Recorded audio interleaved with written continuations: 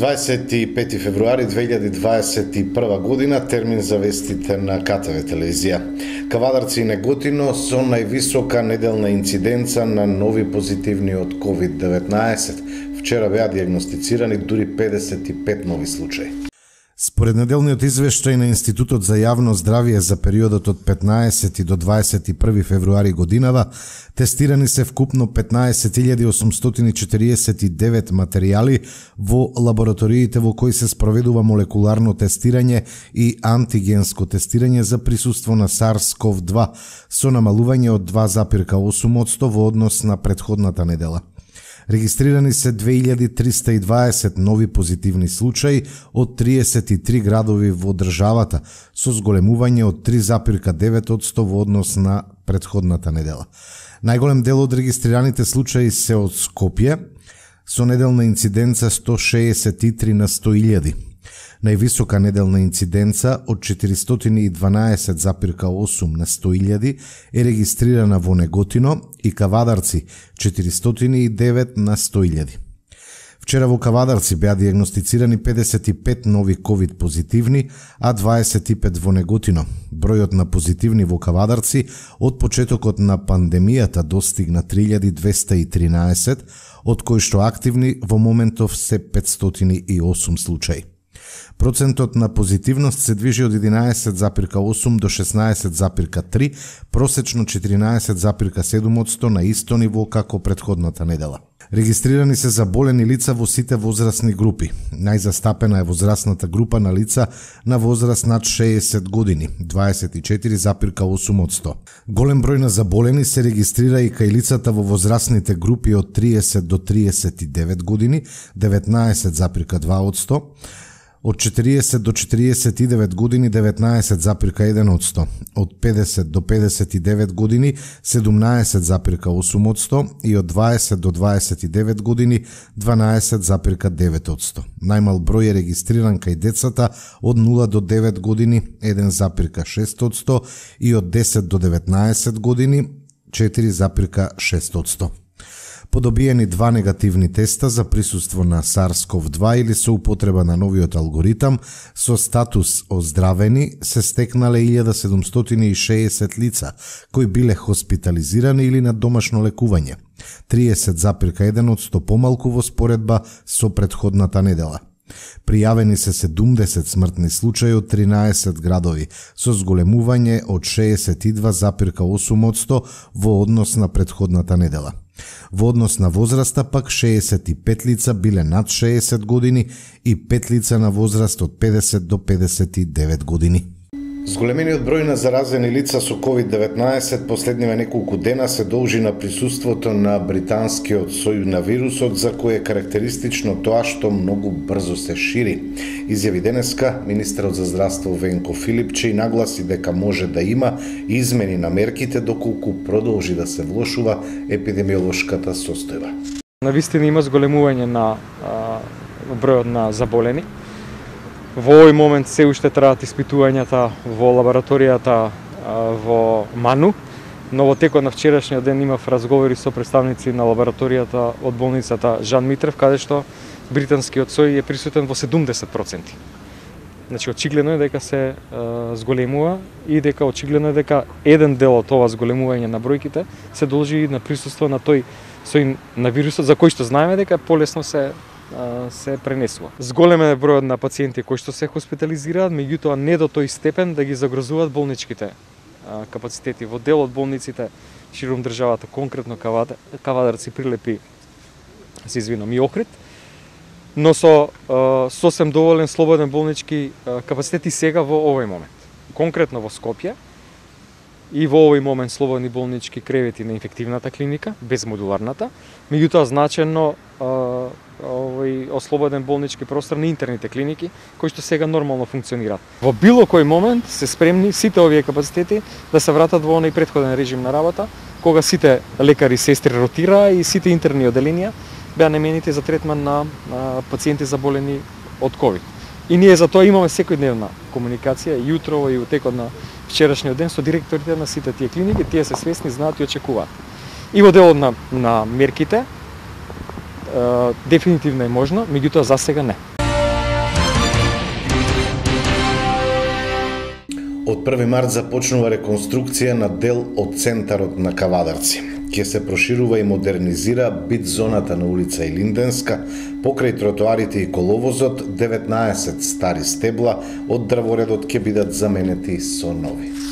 Општина Кавадарци за 21 година според програмата и планот за реконструкција и уредување на градски улици и булевари за прв пат по 40 години има во план и веќе во завршна фаза за уредување на улица Илинденска, централно градско јадро и подрачје, односно од стариот, односно првиот кружен тек во општина Каваци, целокупна а, реконструкција на улица Илинденска, се до улица Тиквешково стане или до самиот центар. Во пределот на тоа централно градско подрачје од 1 март, односно од понеделник, треба да се почне со активност на комплетна реконструкција на асфалтниот коловоз, односно гребење, навелирање и вградување на нов асфалт.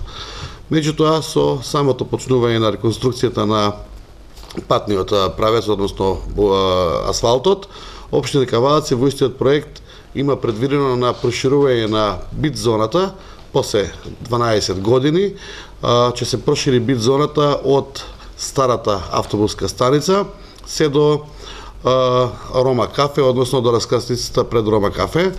Тоа значи дека тротоарите од левата и од десната страна, односно двата тротоари, ќе бидат комплетно реконструирани, со тоа што ќе се симни целокупната воздушна линија подземно, значи водовите во делот на електрика, осветлување и телекомуникација.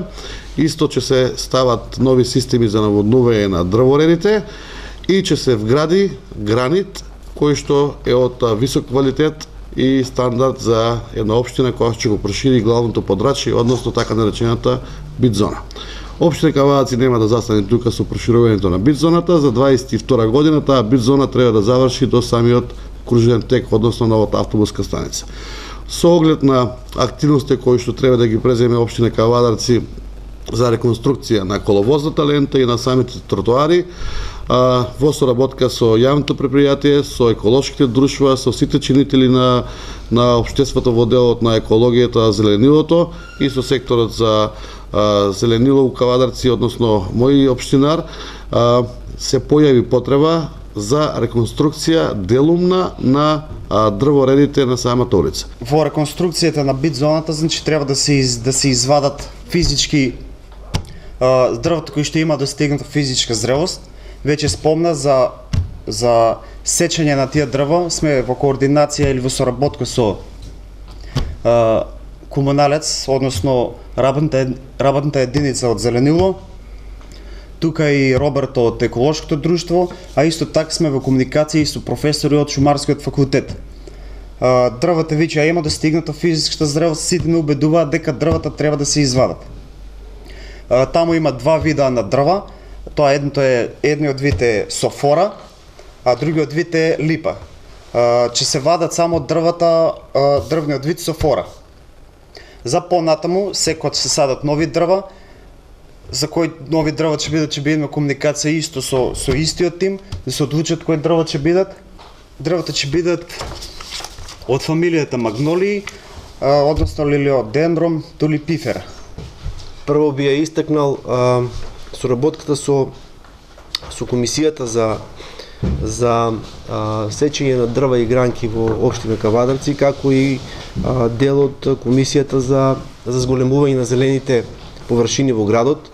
Би истекнал дека во општина Кавадарци е неколку пати е зголемена зголемена зелената површина во однос на претходните години кои што ги имавме тука, што е стварно од еколошки гледен аспект за нашата микрофлора во микросредина и микроклима во, во Кавадарци за голем поздрав.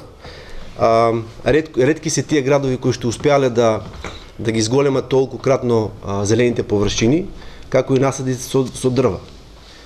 А, би истекнал дека веќе неколку години функционира комисијата во склоп на општина Кавадарци за за планирање со зелениот фонд, така да од еколошки гледен аспект, ќе се осврнам на фактот дека секое сечење на, на или отстранување на на др, дрвата кои што се во во градската средина а, за нас не се не не прави сречни. Но од друга страна доколку доколку тие сами дрва бидат заменети со соодветни дрва кои што се по а, од еколошки гледен аспект подобри за состојбата со амбиенталниот воздух во општина Кавадарци, тоа е оправдано. До одреден аспект, не, од еден аспект. А, можеме да се задоволиме со тој факт дека ќе бидат а, заменети и дека ќе се зголемат неколкократно бројот на дрва кој што ќе биде отстранет од, од самите тротоари. А, неколку дена дебатираме во склоп на комисијата кои од тие дрва треба да се сечат и кои не треба да се сечат и додовме до заклучок дека тие што се постарите представуваат опасност од по пред се по движењето на граѓаните и по и имат некоја си а, техно, зрелост на самите садници да да бидат отстранети, но да бидат отстранети само тие. Што е за поздрав бидејќи во а, некој изминат период не беше така во општина Кавадарци, се отстрануваше се за кое што ќе се решише дека треба да биде отстрането. Сега имаме една, еден вид на транспарентност и консултации како со засегнати страни граѓански сектор, така и со стручни служби и стручни лица, како од комуналот, како од комуналец, така од општина, така од а, нашето а, стручно школо за шу, а, шу, средно шумарско школо Ѓорче Петров и а, би нагласил дека а, ние како, како граѓански сектор имаме доверба во, во институциите во овој момент кога се работи на планирање со зелениот фонд. Ние како работна единица паркови и зеленило при ЈП Комуналец вршиме одржавање и уредување на градот. За овој дел што станува збор сега за улицата Елинденска, а, пошто е за, видот е застарен, се работи за стебло од 45 години, се работи за вид кој што е со за помината физичка зрелост и пионирски вид. Во, во тоа време постоеле тие неколку сорти на на вид, дрвни видови и се садило како, како такви. Меѓутоа, тоа сега имаме по-култивирани, по-добри декоративни садници, и кога би се а, вршело реконструкција на тој дел, ја, ние како а, работна единица паркови зеленило мислиме дека треба дрвата да се остранат и да се засадат поубави и подекоративни садници за да добие градот подобар лик. Министерот за транспорт и врски Благој Бочварски денеска изјави дека сакаат да го продолжат рокот за легализација преку нов закон, за да може да им се даде можност, како што рече, на сите физички и правни лица кои досега не ги легализирале објектите или подземната инфраструктура, тоа да го сторат. Последните податоци, заклучно со вчерашниот ден 24.2, покажуваат дека имаме легализирани и запишани во Агенцијата за катастар на недвижности вкупно 265.264 објекти. Има предмети кои се во активна постапка и затоа нашата намера е да го продолжиме рокот на овој закон со кој ќе се даде можност сите предмети кои што се наоѓаат во општините, а кои поради оправдани или неоправдани причини се уште не постапиле општините, да имаат можност да бидат а, решени. Предлог законот е веќе изработен и е во собраниска процедура. Според новиот предлог закон за бесправно изградени објекти, очекуваме подршка од пратениците. Висината на, на доместокот е утврдена со висината на доместокот за уредување на градежно земјиште во секоја општина во однос на комуналиите и ќе биде зголемена за 50% како казнен пенал кој што ќе треба да го платат граѓаните кои што ќе пристапат кон ваквиот а, тип на решавање на правниот статус од плаќање на, на надоместок со предлогот ослободени се примателите на социјална помош, државни органи, единици на локална самоуправа, јавни субјекти како и верските објекти.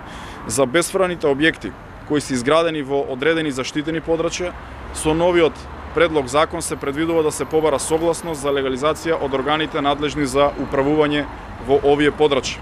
Сакам да напоменам дека првично овој предлог закон крајниот рок за легализација на објекти е 1 октомври 2019 година, кој што е како предлог доставен до пратениците.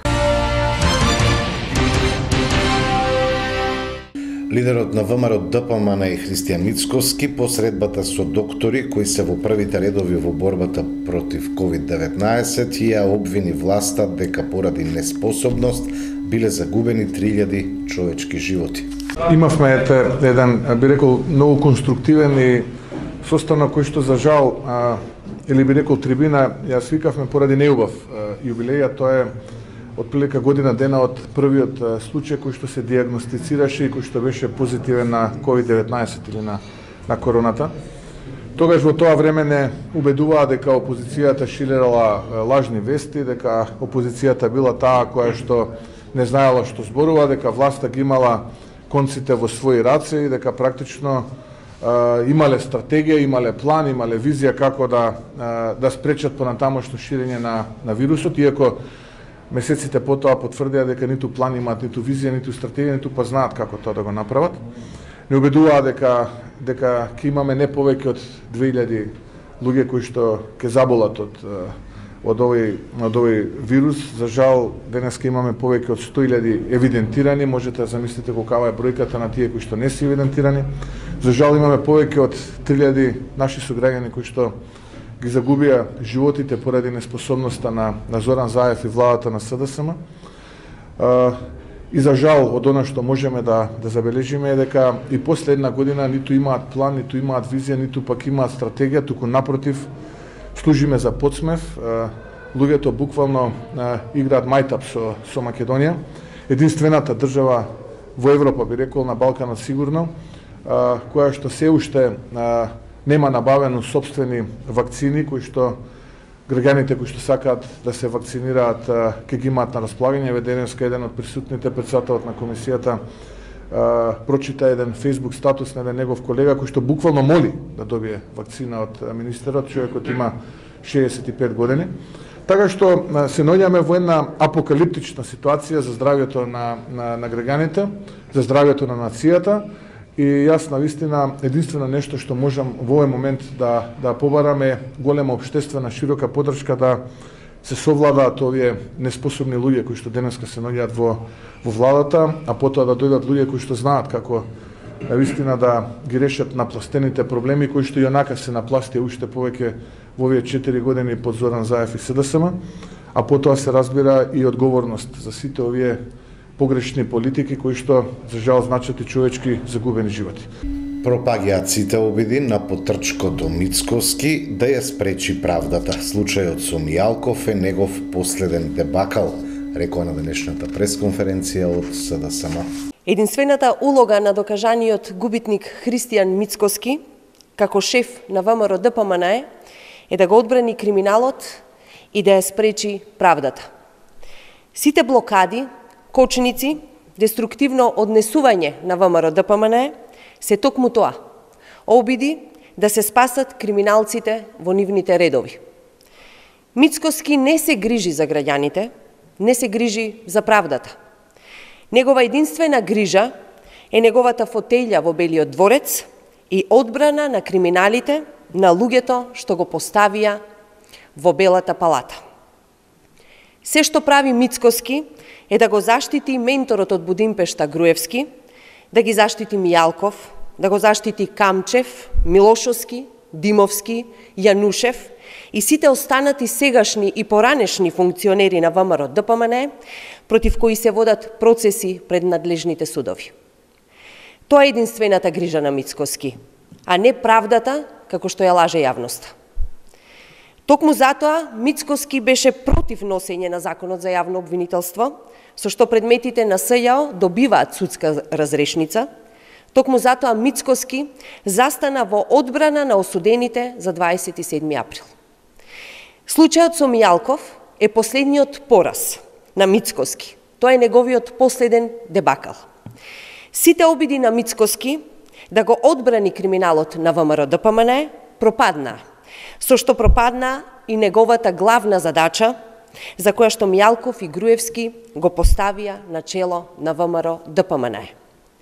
Почитувани, сега патот на правдата е чист и се почесто ќе бидеме сведоци на спроведена правда, но и на силен одговор од институциите кон сите кои се ставаат над законот.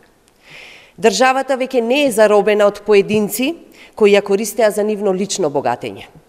Денес имаме силна правна држава, држава во која редот, правдата и дисциплината на сите нивоа се приоритет.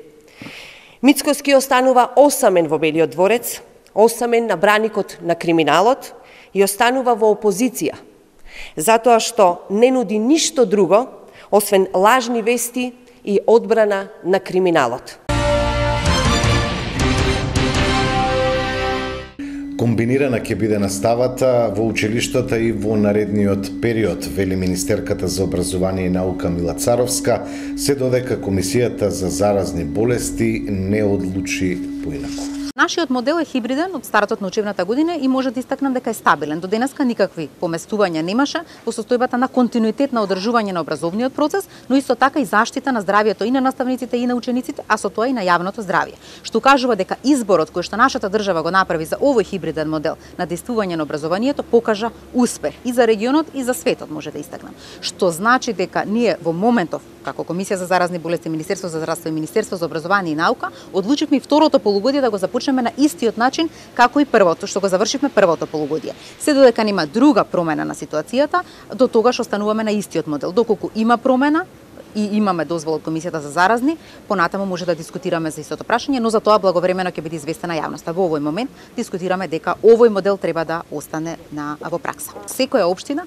има можност да го организира образованието на свој начин во овој дел и тоа беше и препорака на Комисијата за заразни болести. Доколку имаат соодветни услови, имаат капацитет и човечки потенцијал, заради немешање на групите може да го постават и општини имаше кои што тоа го постави уште на почетокот. Продолжуваат засилените контроли на полицијата во Кавадарци вчера казнети 11 лица за неносење на заштитна маска, а 5 во Неготино.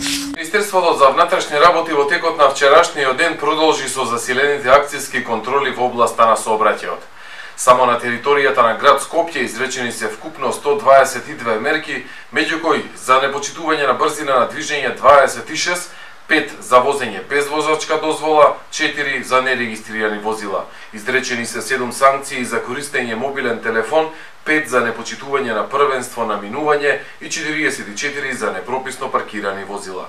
Засилените акцијски контроли продолжуваат и во наредните денови, апелираме до граѓаните да се почитуваат максимално пропишаните сообраќајни правила и прописи и на тој начин заеднички да придонесеме и да ја подобриме безбедноста во сообраќајот. Во текот на изминатото деноноќие на територијата на целата држава по однос на мерката за лична заштита на лице регистрирани се 490 прекршоци.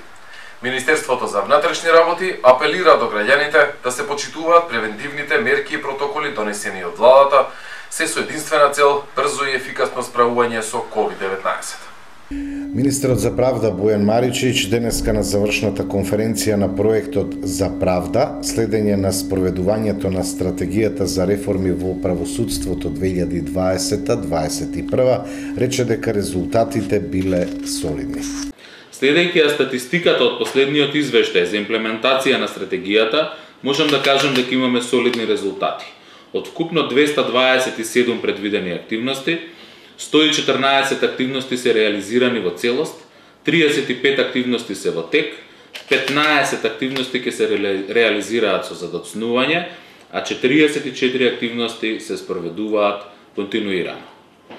Сепак, клучниот предизвик на правосудството излезе на виделина за време на вонредната состојба кога тековното функционирање на судовите и обвинителствата се одвиваше со големи потешкоти или беше целосно запрено на моменти. Токму COVID-19 ни покажа колку многу ни е потребна итна трансформација и забрзана дигитализација на правосудните органи, не само заради зголемување на ефикасноста, туку и за базично функционирање на институциите.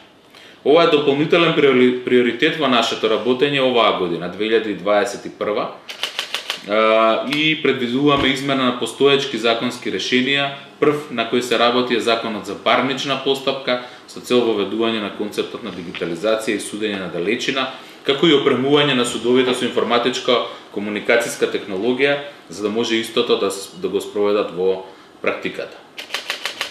Оваа година не очекуваат и голем број законски измени предвидени во стратегијата за реформи, 12 на број, повеќето од кои што се системски закони на кои веќе работиме.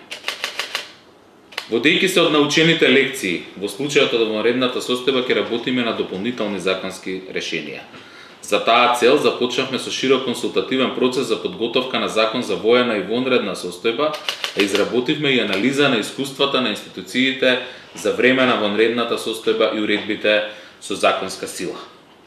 Не би можел поинаку да го завршам своето обраќање денеска да не се осврнам на случувањата во изминатите денови, бидејќи попусто би говореле за реформи и законски измени доколку вртиме грбот на она што се случува на терен.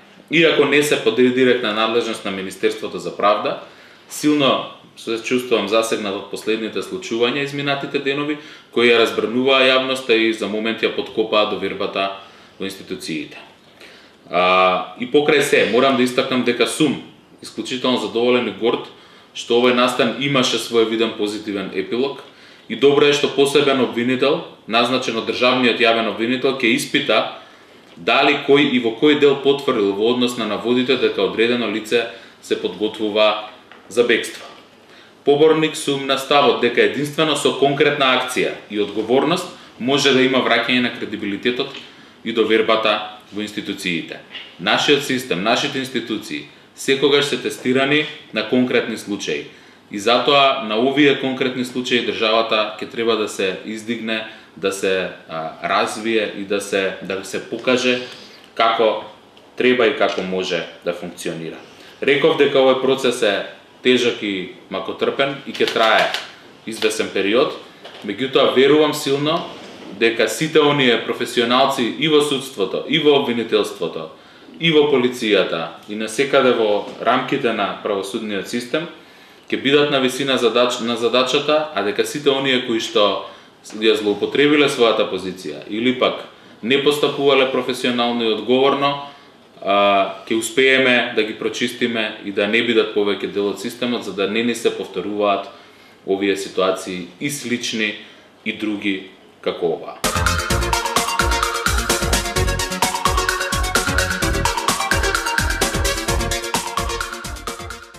Утре сончево, топло и претежно тивко во утринските часови по одделни котлини ќе има услови за појава на слаба магла. Дневната температура ќе достигне до 20 степени. Тоа беа содржините, благодарам за довербата и вниманието. Имајте секој добро со нашата програма.